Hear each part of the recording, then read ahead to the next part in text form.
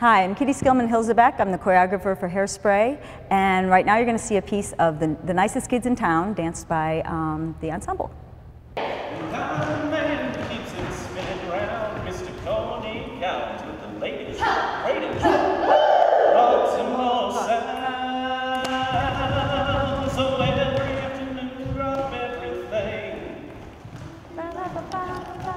Who needs to read it right when you can dance and sing?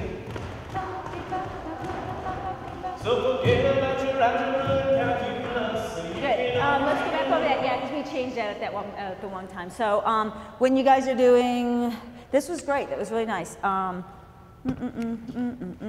da, dee, da. Um, make sure that right when you go into these things that you get it's the biggest one should be that first one so it's ba da ba so make sure the feet are really going a little higher on the pony and really pointed feet bum, bum, bum. so a little bit more prancing on that one